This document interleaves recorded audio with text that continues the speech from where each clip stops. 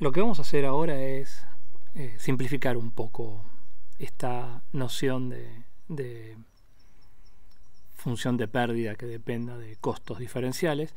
vamos a suponer por un minuto que, que en el fondo me da lo mismo y puedo asignar costos constantes, no importa de dónde venga y a dónde clasifique, cuando me equivoco. Entonces vamos a hacer los costos, eh, convertirlos en una constante. Y de esa manera la función esta, tan importante, la que tenemos que minimizar, que es esta hj de x, ahora se eh, el costo, al estar fijo, la puedo sacar de esta sumatoria.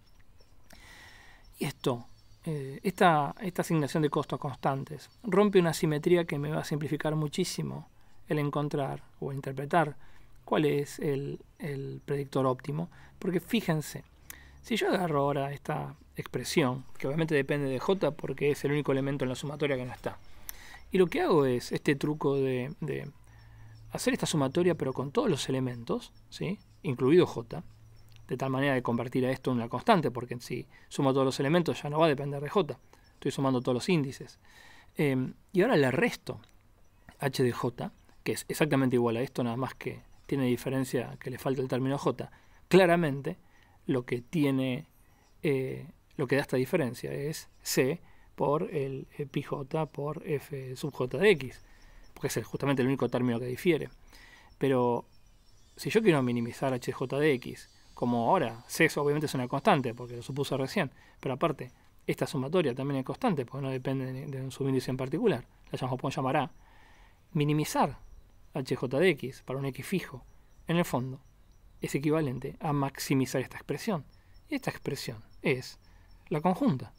O sea, esto quiere decir, en el fondo, que la regla óptima de clasificación, y a esto se lo llama el clasificador óptimo de Bayes, consiste en buscar aquella clase J que maximice la probabilidad conjunta de eh, dado X ser clasificado en, eh, en devenir de la clase J y dado que vengo de la clase J de observar la verosimilitud en el valor X.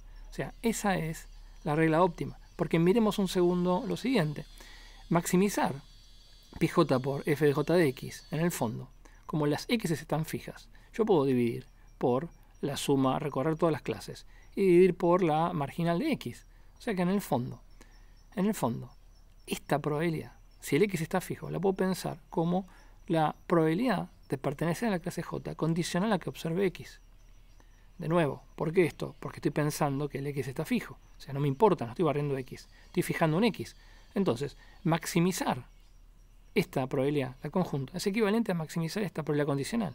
Pero entonces, si los costos son iguales, lo que esta regla nos está diciendo, esta regla muy general, es que en el fondo yo voy a clasificar en J cuando esa clase maximice la probabilidad condicional, dado que observo el valor X. Lo cual ahora se vuelve tremendamente intuitivo, porque en el fondo lo que estoy diciendo, mira, dado que observaste X igual a X, clasifica en aquella población que tenga la mayor probabilidad de pertenecer. Y está muy claro, recuerden que esto es constante, porque estamos fijando el X, está muy claro que esta probabilidad condicional es el producto de dos cosas muy distintas. La probabilidad de pertenecer a la clase J y, dado que pertenezco a la clase J, de observar X. Entonces fíjense la siguiente cuestión. Voy a clasificar en J cuando pasen alguna de estas dos cosas o alguna combinación. O la probabilidad de venir de J es muy grande y quizá eh, el feature X no es tan verosímil bajo J, pero la probabilidad de venir de J es muy muy grande. O el caso contrario, donde por ahí es una clase que no es tan importante, pero la verdad es que X, el valor de X, es muy muy verosímil, es muy probable eh, dado la clase J o alguna combinación de ambas, por supuesto. Pero lo que es importante, y por eso esta interpretación, es darse cuenta que el clasificador óptimo, que en este caso cuando los costos son iguales se llama clasificador óptimo de Bayes, consiste en maximizar estas dos expresiones, el producto de estas dos expresiones, que son dos cosas muy distintas. Esto representa la participación marginal que tienen las clases.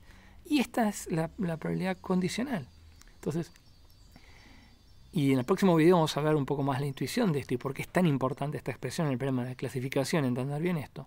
Porque de nuevo, yo puedo terminar clasificando en una clase, no tanto porque para ese valor sea muy verosímil eh, en esa clase observar ese valor, sino porque simplemente esa clase es una clase que es muy mayoritaria, es muy importante, tiene una probabilidad de que una población venga de ella muy muy grande. Pero esa, esa intuición la vamos a pensar un poquitito en, en el próximo video.